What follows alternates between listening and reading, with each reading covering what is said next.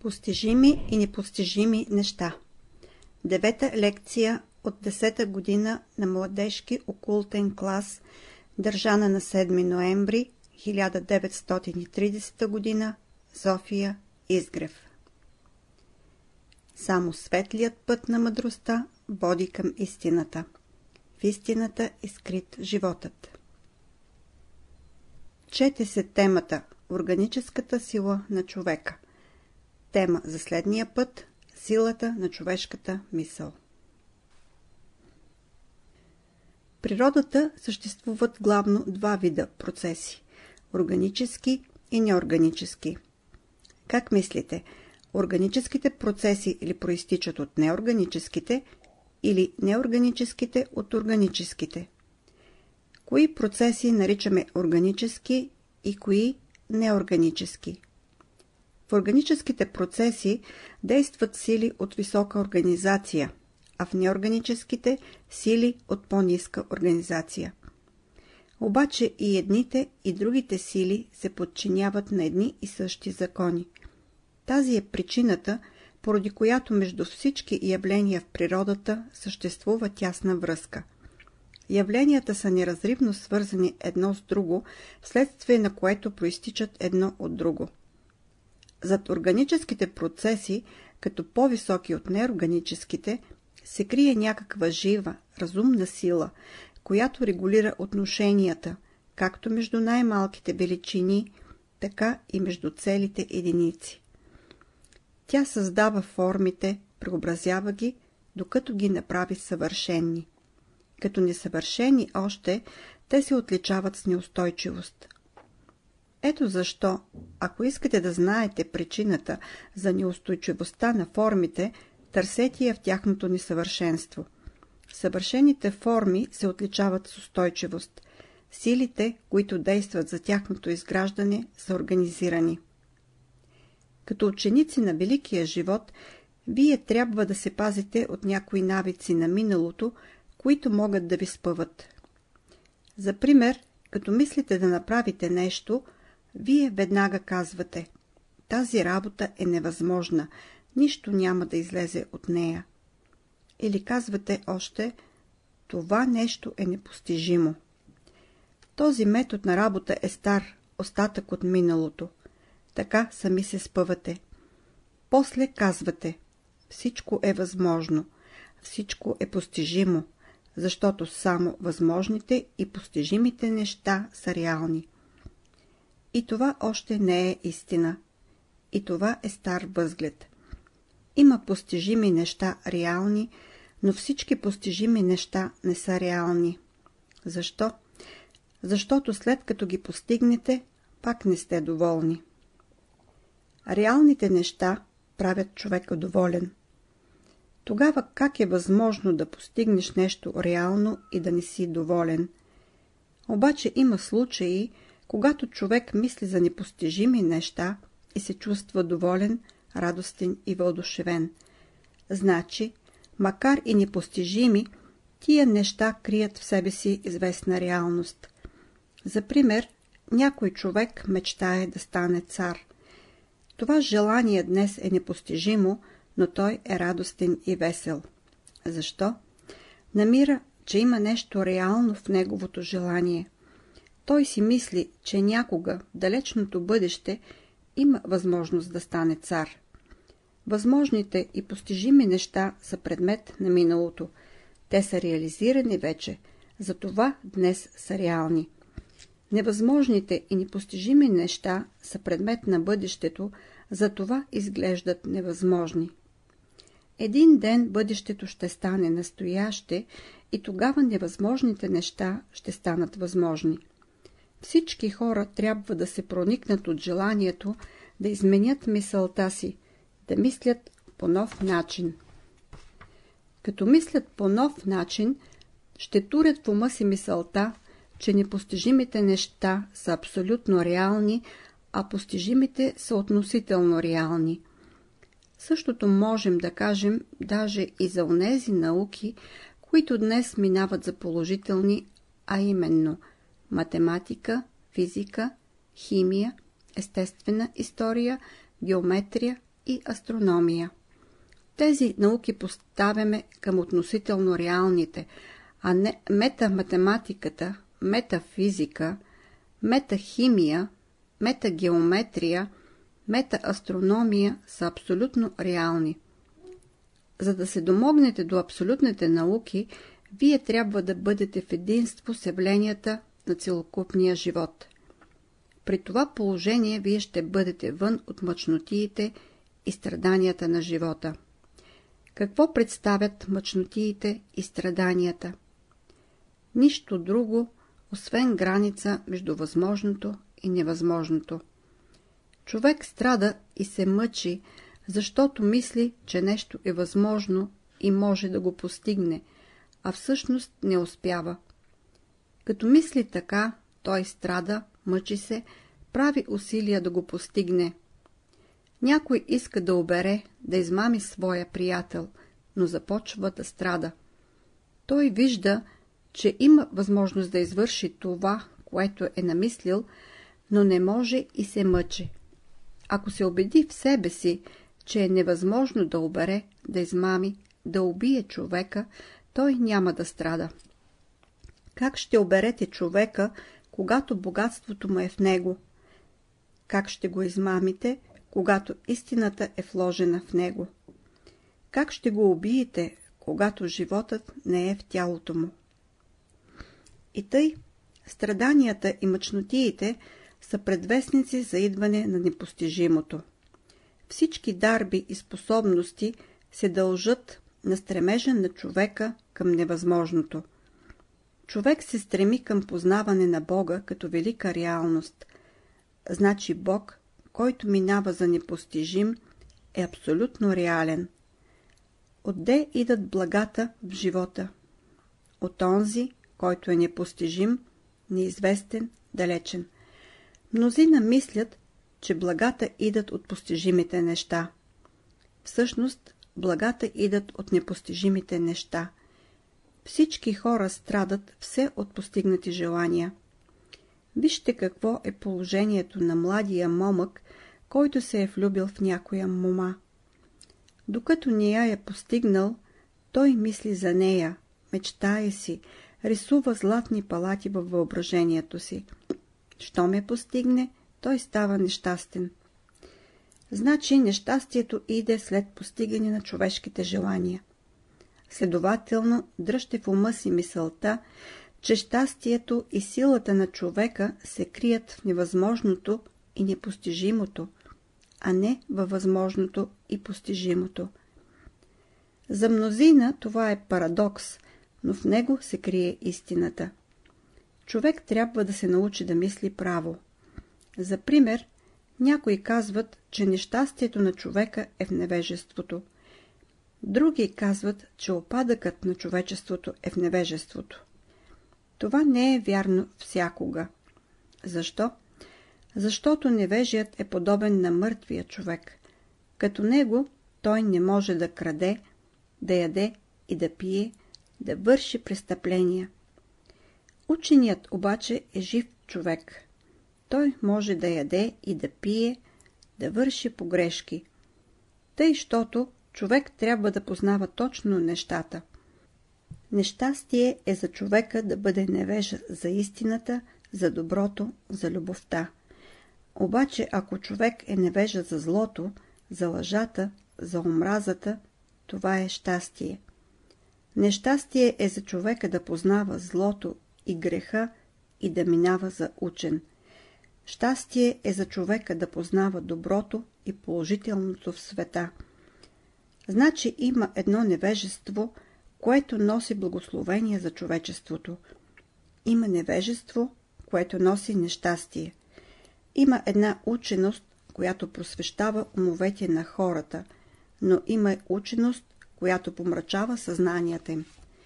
Като ученици, вие трябва да се освободите от стария начин на мислене, който сте наследили от миналото. Дайте нова насока на мисълта си и вярвайте в невъзможните и непостижими неща. Възможно ли е това? Възможно е. Идете на гробищата, да видите колко хора са станали жертва на вярата си в възможните и постижими неща. Като мине през гроба, т.е. през смъртта, човек се освобождава от тази вяра. Той започва да вярва в невъзможното и непостижимото.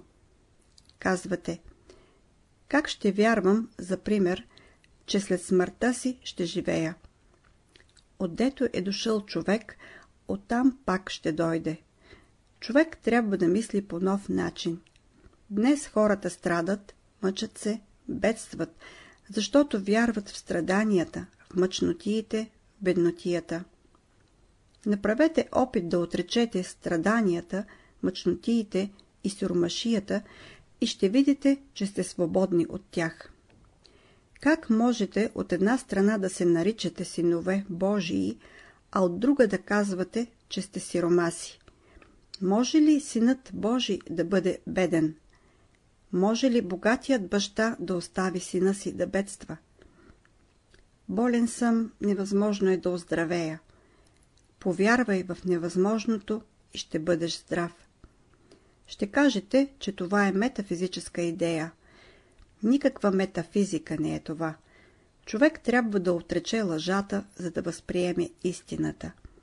Трябва да отрече омразата, за да възприеме любовта. Вярвайте в непостижимото, за да бъдете радостни и доволни. Ще кажете, че в разсъжденията за постижимото и непостижимото има нещо метафизично. Според вас, метафизичното не е реално. Всъщност не е така. Вие трябва да разсъждавате правилно, за да определите кои неща са реални и кои не са. Взимате парче лед и казвате, че той е твърд. Обаче ако поставите леда при температура по-висока от 0 градуса, той започва да се топи. Дойде ли до 100 градуса, той се превръща в пари.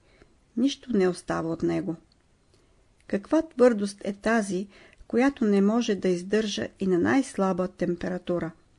Под понятието твърдост ние разбираме нещо реално, неизменно.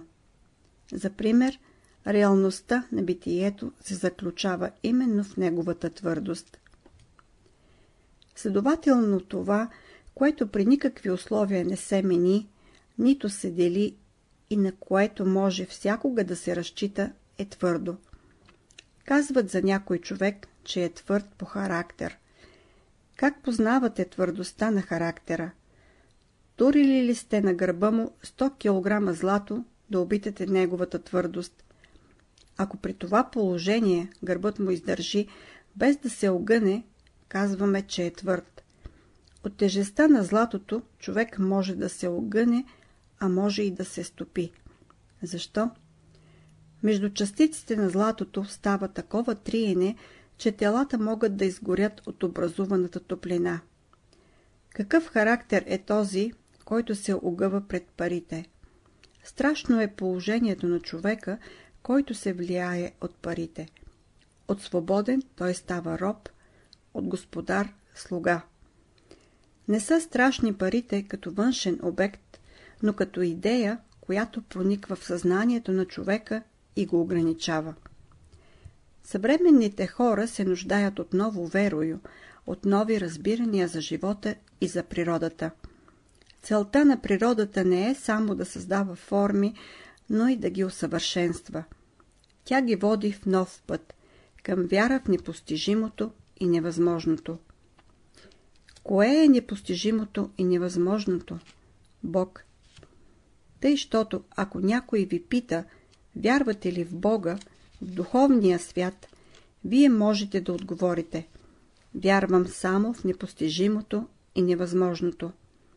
С други думи казано, аз вярвам в неща, които не съществуват. Кои неща не съществуват? Които не са се проявили. Мислите ли, че непроявилите се още неща не оказват влияние върху проявения свят? Ще кажете, че проявилите се неща не са реални. Те не са реални за един свят, но са реални за друг. От нереалните неща произлизат реалните, от реалните временните, от временните сенките оценките, развлеченията, а от развлеченията – скърбите и страданията. И тъй, съществуват две учения в света – учение за реалните неща и учение за нереалните неща. Първото учение е за здрави хора, а второто – за болни. Болният вярва в лекарствата, в леглото си, във външната помощ.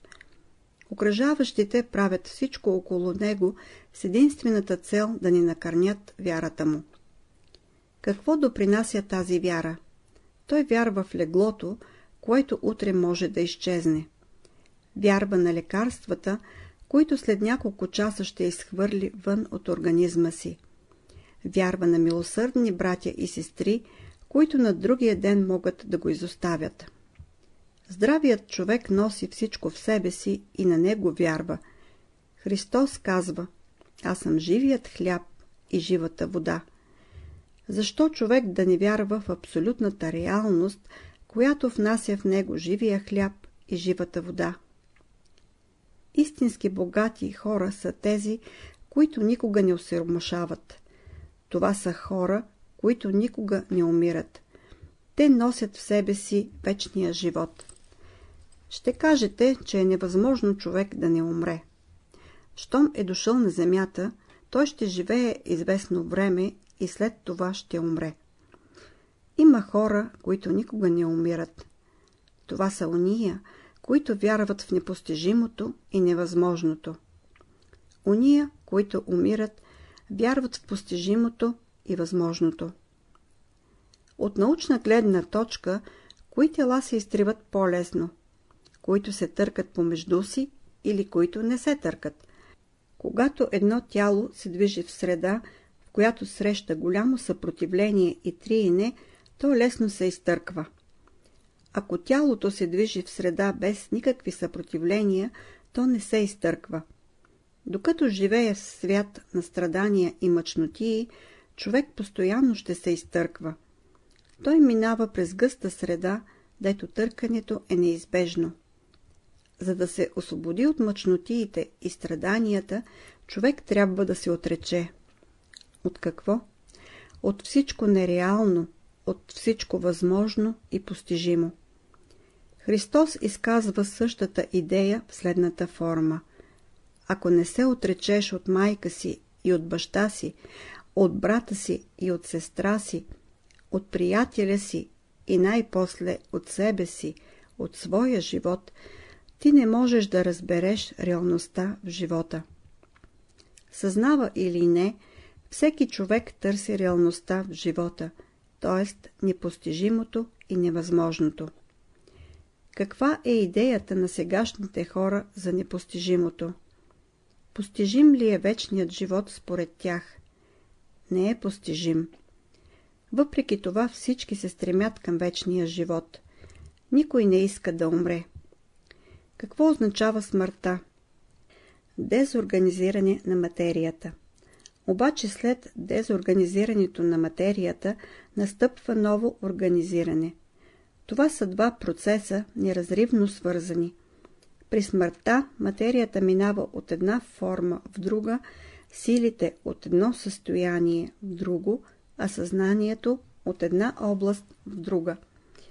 Както човек минава през своите мисли, чувства и желания, така той минава и през смъртта. Много от неговите желания носят страдания и изпитания, но той не се отказва от тях. За пример, чувате, че някой иска да стане министър, да управлява държавата. Ще стане министър, но ще мине през големи страдания. И волът има желания, реализирането на които го водят към страдания. Той иска да бъде свободен, да отиде в гората, да се напасе добре, да си пие чиста водица и да се изтегне на сянка да почива. Обаче ако мине покрай него някой селянин, ще го върже за рогата и ще го заведе в своя дом, отдето сутринта рано ще отиде с него на нивата да оре. Такова е положението и на човека. И той оре в живота си на общо основание. Скърбите и страданията не са нищо друго, освен браздите на живота, по които човек тегли своето рало. Докато човек вярва във възможното и постижимото, дълго време ще оре земята. Щом повярва в непостижимото, той ще престане да оре, т.е. да страда. Любовта е непостижимото в света, но въпреки това вярвате в нея. Тя е реалното в живота, а човек не може да не вярва в реалността. Нов път, нова мисъл, нови разбирания са нужни на хората. До сега те са вървели по отъпкан път, по който има само прах. Хората вдигат такъв прах около себе си, че един друг не могат да се видят. И това наричат те реален живот или живот на възможното и постижимото. Освен дъжд, прахът нищо не допринася. И дъждът носи благословения за цветята, за животните и за хората, но в праха на живота няма никаква реалност. Няма защо човек да се движи още по отъпкания път. Той е дал вече своето и вие повече не може да се ползвате от него. Той се е изтрил вече. Стремете се към пътя на непостижимото, дето не е влязал обикновен човешки крак. Задача За 10 дена мислете върху непостижимото и невъзможното в живота, като ново верою, което трябва да възприемете и приложите. Всяка сутрин ще взимате по една бучка захар и ще си казвате Тази бучка е в състояние да подслади моя живот. Вие мислите, че това е невъзможно, глупово, безсмислено. Невъзможното се крие възможното, в глуповото – мъдростта, а в безсилието – смисъла на нещата.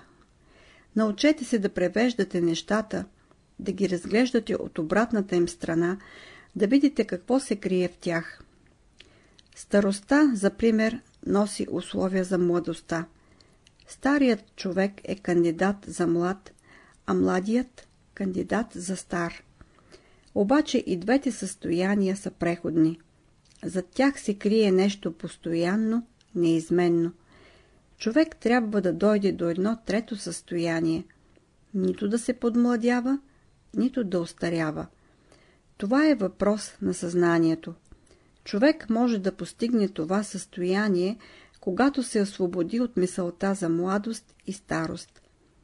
Какъв смисъл има младостта, ако младият не е разрешил задачите си?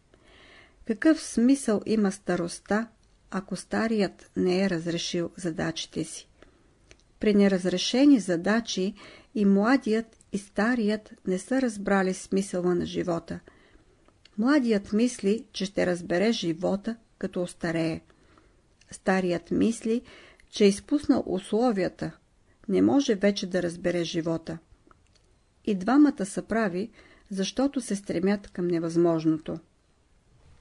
Като решавате задачата си, няма да изядате бучката захар, но ще я погледнете само като носителка на всички условия за реализиране на невъзможното. Ще си кажете, днес не съм учен, но в бъдеще мога да бъда учен. Днес не съм щастлив, но в бъдеще мога да бъда щастлив. Човек носи в себе си щастието, силата, учеността, но гем и седло има върху себе си. Не е свободен. Гемът, седлото представят неговите стари възгледи, от които той трябва да се освободи, както войникът хвърля войнишките си дрехи и се облича с граждански. Ще ви дам едно правило, което да прилагате в живота си. То е следното. Това, което не желаеш за себе си, не трябва да желаеш и за другите. Това, което желаеш за себе си, желай го и за другите. Човек желая някои неща за себе си, а не ги желая за другите. Защо? По силата на закона за противоположностите. За пример, даден човек се намира в известно положение и желая нещо за себе си. Приятелят му обаче се намира в друго положение, вследствие на което първият не може да желае за приятеля си същото, което желая за себе си. Когато двамата приятели се намират в едно и също положение, желанието на единия може да бъде желание и на другия. Това се случва рядко. Обикновенно природата поляризира своите сили така, че между тях да става правилна обмяна. Забелязано е, че когато един човек се ражда, друг умира. Когато един страда, друг се радва. Когато един осеромашава, друг забогатява. Когато един пада, друг се повдига. Тия процеси показват, че между силите на природата съществува вечно равновесие. Тъй, щото, когато кажеш, че си нещастен, обърни се на противоположната страна и ще видиш, че някой е щастлив. Като ученици, вие трябва да използвате условията на земния живот като велико училище, в което душите са дошли да се учат, да намерят пътя към великата истина. Христос казва Искай и ще ти се даде. Търси и ще намериш. Хлопай и ще ти се отвори. Аз превеждам тия мисли. Искай любовта, търси мъдростта, хлопай за истината. Ходи там, дето е истината. Мисли за това, което носи светлината на мъдростта.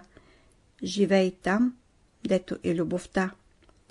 Радвай се на най-малките си придобивки, за да видиш, че там е скрито великото. Радвай се на малкото, което има условия да расте, да цъфти и да зрее. Вярвай в непостижимото и невъзможното, за да разбереш реалността на живота. Бог е в непостижимото и невъзможното.